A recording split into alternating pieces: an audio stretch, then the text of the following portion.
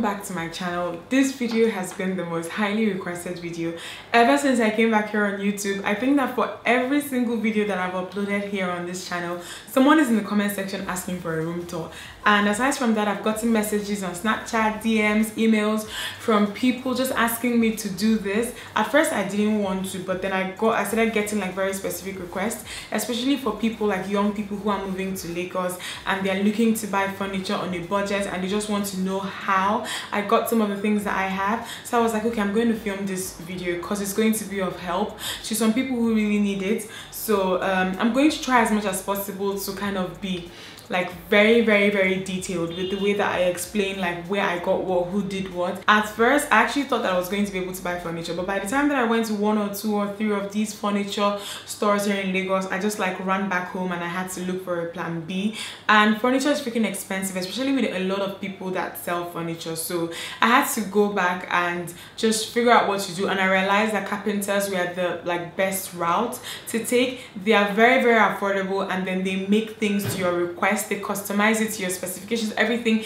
They just like make things the way that you want them and they're a lot cheaper and they're very very affordable. And nigerian carpenters are actually really good. I don't know people some people might not know this but they're actually really good. The only thing is that you can't get things from them instantly. You're going to have to wait a while. So this space this house where i'm at right now i feel like it's one of the biggest achievements of my adult life. I've been working towards it for a very very long time. I've actually been planning to move to this place like to get this space since as far back as of 2013 around the time i was moving out of lagos in 2013 around the time that i finished my youth service i had concluded at the time that i was going to move back but then i wanted to move back under certain conditions because i know how it was the first time around for me. So i've been working towards it i saved up like i wanted this to just meet like the picture. I wanted it to just be like the picture that i had in my head.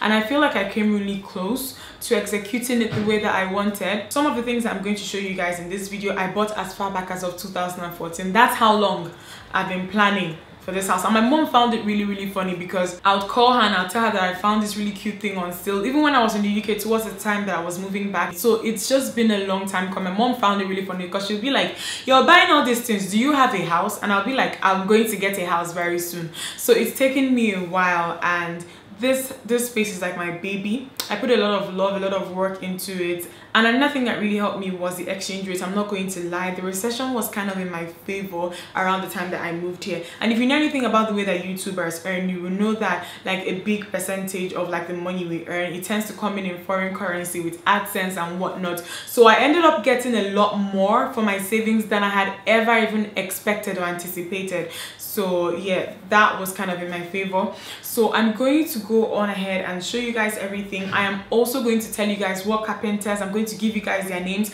I'm going to give you guys their numbers. I have you guys covered. I'm going to tell you guys who did what. And another thing again that really helped me was that i didn't let go of some of the things that i had acquired while i was living in the uk so like i'll get these vases and then these flowers and stuff that i'll use as props for my blog post pictures. I'll go to ikea because there was an ikea in coventry and these things were really cheap and I'll buy them and I use them as backdrops. But then around the time that I was moving out I just packed everything inside a bag. I didn't let go of anything I just tried to make them work so if they didn't fit into the current space I just kind of repainted them or kind of fixed them up and that's another thing again I actually had to do a lot of DIYing I actually had to spray paint a lot of things myself I did a lot of painting. At a point, my neighbors actually thought that I was an artist because every time that they would walk by, they would see me spray painting something outside. So a lot of them actually thought that I was an artist and they would just walk by and be like, oh, what are you working on?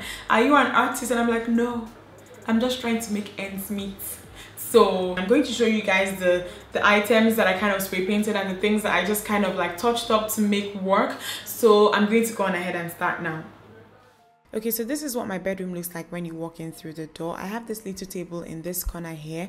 It was made by a carpenter called Paul and it cost me about 8k. Opposite it, I have my bed, which is like my favorite thing in this room, and I have this thing on the floor. But then I'm going to focus on this table for a minute. And this is the place where I put all the things that I normally reach for when I come out of the shower, and my jewelry box as well. And then in this corner here, I have these two vases that I got from either IKEA or H&M. I can't remember, but they were really cheap. And then this mirror. These three items, I spray painted them copper. The mirror was initially black. My mom wanted to use this for something else, but I actually begged her to give it to me, and she did. And then the vases, they were kind of a weird gold but then I changed the color and I think that they look nice now, a lot better. The bed is the most expensive thing that I have in this room and it cost me about 40k. It was made by a carpenter called Dolapo and he really did a good job. I think that he nailed this. I showed him a picture of something that I wanted and he really really tried as much as possible to make it like bring it to life and I love my bed. On the floor, I have this little thing here. It was given to me by my friend Nello years ago, and I think she got it from IKEA, and it cost about ten pounds. And then I have this like textured rubber carpet that looks like wood. I got this from Mojo Eleba, and I use it to cover the floors in the two bedrooms because they were bad. And on top of my headboard, I have these two frames I got from IKEA. They were really cheap as well, and they frame my two favorite quotes: Proverbs thirty-one twenty-five and Jeremiah twenty-nine eleven. My two faves. And then in this section here, I have my Bible and the book that I'm currently reading with some devotionals, and then a candle from R&R Luxury, and then this lamp that I got from IKEA. It was cheap as well. It was about 10 to 15 pounds. And then I have this wardrobe here. This is my least favorite section in this room. It was brown initially, like the color, like this was the actual color. But I used white contact paper, but I don't like the white contact paper because it doesn't match the rest of the white that I have in my room. But this is my wardrobe. It looks like organized. Like I, I'm not doing too much here, you know, like I just have things like hang. Nothing is color coordinated or anything, you know and then I have my bags up here. And then to the left I have my bathroom. So this is a mirror here. To the left of this room I have my shower and then my toilet seat but I'm not going to show you guys that. I'm going to move on to the next room now. And this is my filming room. This is where you're going to find me 99% of the time in this house the desk was made by Dolapo and it cost me about 25k. Um, um, I had another carpenter put glass on it later on, but and that was Suleiman. I'm going to leave these details down in the description box. So I have this little section here with this acrylic um, container that my sister Ugochi gave me. So I have like my eyebrow pencils and my lip pencils, the ones that I reach for the most, and my lipsticks. I have this little wooden tray here that I used to put all the makeups that I use makeup, not makeups that I use whenever I film. And you can get something like this from a store in Circle Mall in Jakande. I'm going to leave the details. The glass was placed by Suleiman, a carpenter called Suleiman, and it was put after Dolapo had made the table because I wanted it last minute. So in this section here, I have this storage unit and it has nine drawers. It was made by Dolapo and it cost me 50k, like it was really expensive. And then the first drawer here, I put all my stationery and stuff, but you guys can see soap, so please ignore that. and then in the second drawer i put like all my filming things like my camera my lenses my earphones my wires and all of that you know? And in the third drawer i have like this is like a hair like drawer. I have my blow dryer my straightener my curling one some pins some gels you know? And then in this drawer here i have like my tapes the tapes that i use for my knees some perfumes my glasses and my contact lenses this is the, these are the things that I put in this drawer and then I'm going to close it now. I don't know why it's open for so long. And then I have my eyeshadow palettes here, and it's like this drawer is like on the same level with my filming table for easy access. This is also like a hair care drawer as well with some body care stuff in here as well. So in this section up here, I have all the hair care products that I reach for on the regular, like my leave-in conditioner, my scalp oil, and my wig head. And you guys can pip some lipsticks at the back, you know so onto the other drawers and then this is the table that i film with so this first drawer had like my essentials my wipes and then you know the things i reach for regularly. But then this drawer is where i put my powders and my eyeshadows and my pigments liquid lipsticks lip glosses blushes. And then i got the drawer dividers from argos. They were like two pounds a pack. I didn't get enough.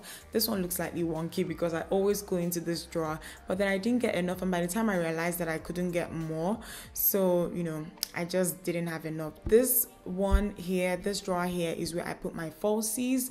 And on the last drawer or in the last drawer I have my foundations and my powders and my primers. I got these drawer dividers from konga.com like luckily a pack sold for 1k but these are very very big. They're a lot larger than the ones i showed you guys previously and they can fit into really small drawers so so you guys know. Yeah i got them from konga.com and then this here is the same wardrobe that I have in the other bedroom. I try to cover it with white contact paper as well.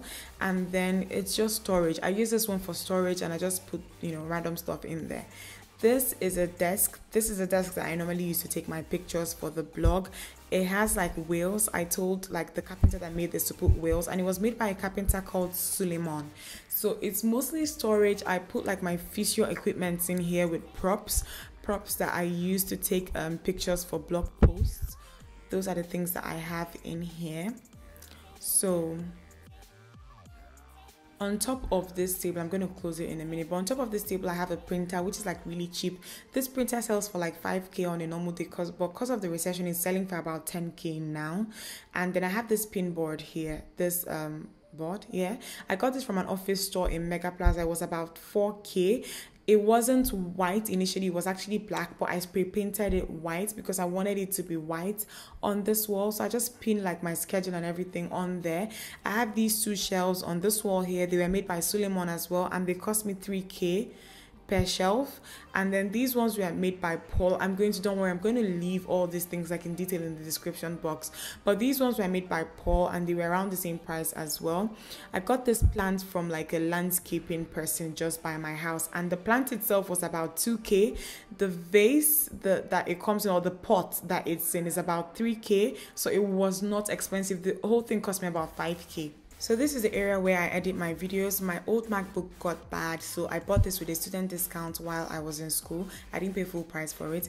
And then I have this table here that you guys see when I film, and it was made by a welder actually. He just put tinted glass on it and spray painted it gold, you know, and it was cheap, like about 5k.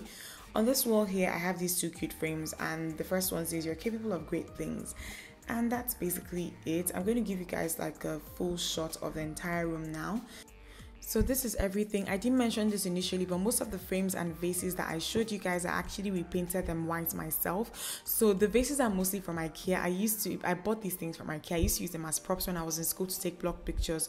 So this is everything. I bought everything here. I've shown you guys with my money. So if you're in a budget, you can actually use carpenters to get stuff that really looks nice, like on a budget. It's possible. I did it. So I'll see you guys in my next video. Bye guys.